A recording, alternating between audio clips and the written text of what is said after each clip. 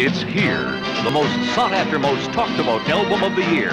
Paul Anka, 20 of his greatest hits. I'm just a lonely boy. From the sibling feelings of a young boy to the honest emotion of a man. No, I don't like to sleep alone. Paul Anka, one of the most accomplished writers of our time.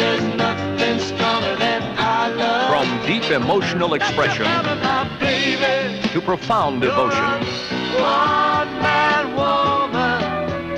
You're a one man woman. This is the magic of Paul Anka. friend's wife is the love of my life.